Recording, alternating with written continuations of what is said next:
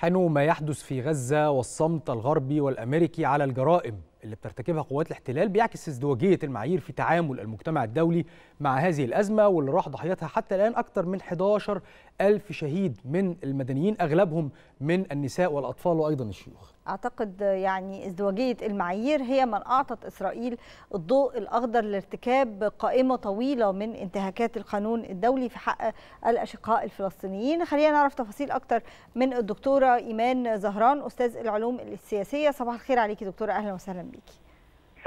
صباح الخير. أهلا بحضراتكم.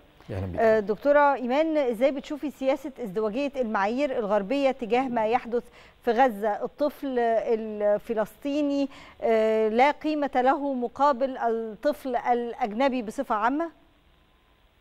يمكن بشكل عام فكرة الازدواجيه المعايير رصدناها على كذا مستوى وعلى كذا مسار بداية من نقل الأحداث الازدواجيه في الخطاب الإعلامي تكييف القضية الفلسطينية ونقلها نوع من التستر على العديد من الانتهاكات اللي تمت من جانب جيش الاحتلال الإسرائيلي على قطاع غزة من بداية عملية السيوف الحديدية.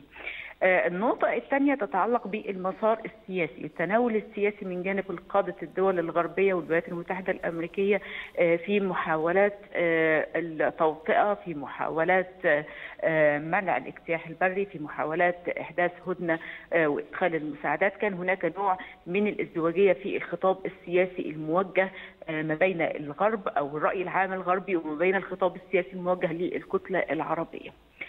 ويمكن ده اللي تكشفته الأحداث فيما بعد في إعادة تعبئة الرأي العام العالمي مرة. أخرى ورصدناه في العديد من الثورات في والخروج الألاف من الغربيين أو في الدول الغربية للتنديد بالهجمات الإسرائيلية محاولة إثناء حكومتهم على الدعم المطلق لإسرائيل وما إلى ذلك.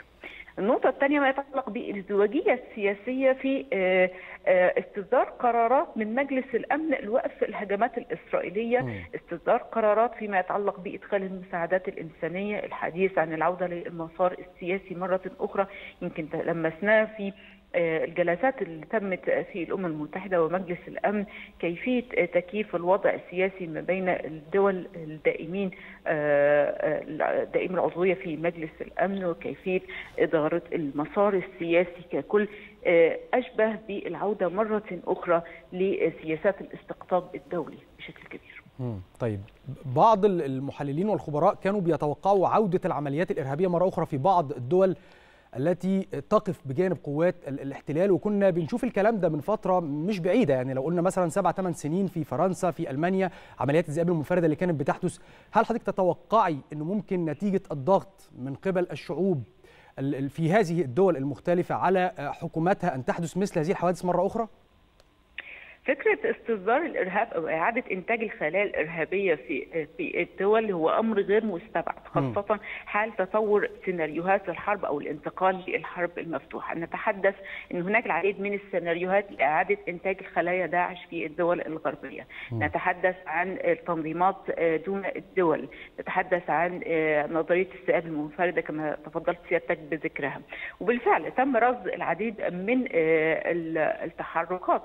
سواء من جانب المتشددين الدينيين ايا منهم داعم للصفوف الإسرائيلية أو الصفوف الفلسطينية. حدث نوع من المناوشات في العديد من الدول الأوروبية على إثر رفض الدعم لإسرائيل أو التنديد بفكرة القضية الفلسطينية كل منهم على وفق أجنداته، لكن ما يتعلق بالعمليات الإرهابية هو سيناريو مفتوح، سيناريو قائم حال تطور الأوضاع خاصة ونحن نتحدث عن أوضاع حرجة تفوق في اضطراباتها الأمنية إلى ما خارج نطاق الشرق الأوسط قد تفضي مزيد من الاضطرابات على القارة الأوروبية والولايات المتحدة الأمريكية. يمكن نقطة ثانية فيما يتعلق بالكيل بمكيالين حينما نتحدث عن الأزمة ازمه قطاع غزة والقضية الفلسطينية والتناول الغربي لهذا الأمر مقارنة بالأزمة الأوكرانية والصراع أو الحرب الروسية الأوكرانية التكييف السياسي والتكييف الامني لكلا الأمرين أو لكلا القضيتين هناك العديد من الثغرات في التناول الأوروبي والتناول الغربي ككل والولايات المتحدة الأمريكية في تكييف ابعادهم.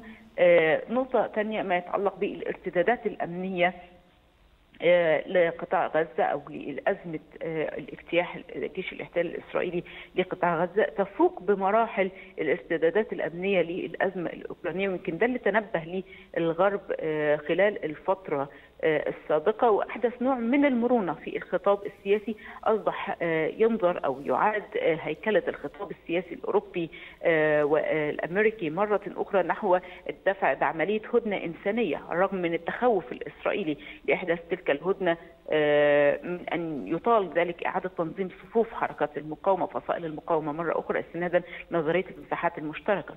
النقطة الثانية ما يتعلق بالمهادنة السياسية وأصبح هناك حديث أوروبي وحديث أمريكي نحو العودة مرة أخرى للمسار السياسي الحديث عن تكييف آليات حل الدولتين. كل تلك الأطروحات أحدثت نوع من المرونة حينما تم نقل العديد من الرسائل العربية والإشارة بشكل مباشر عربيا لإزدواجية المعايير الإعلامية والسياسية للكتلة الغربية ككل. أعتقد تعدينا مرحلة ازدواجية المعايير دكتورة إيمان يعني باتت مشاهد القتل اللي بتحصل والاعتداء على الفلسطينيين شيء يعني بقى شيء معتاد على الشاشات المختلفة. متى يتم التوقف عن التعامل مع الفلسطينيين على إنهم مجرد أرقام؟ إحنا بقينا التلفزيونات في مختلف أنحاء العالم بتتعامل مع الفلسطينيين على إنه مجرد نشرة بيقال فيها أرقام ال ال الذين استشهدوا. فقط لا غير. يمكن ده طرح مثالي في العلوم السياسية بشكل كبير. نتحدث عن حرب والحرب تتضمن العديد من الضحايا والانتهاكات. لكن الحديث الأهم عن فكرة الضحايا أو فكرة ارتفاع عدد استشهاد الفلسطينيين هو فكرة تقديم إسرائيل للمجتمع الدولي تقديمها أمام المحكمة الجنائية الدولية بتهمة انتهاك القانون الدولي الإنساني وما إلى ذلك من عديد من الانتهاكات تمت من جانب جيش الاحتلال الإسرائيلي، لكن فيما يتعلق بأرقام ارتفاع شهدائنا في قطاع غزة للأسف كما دوما يقال إن لكل حرب ضحاياها.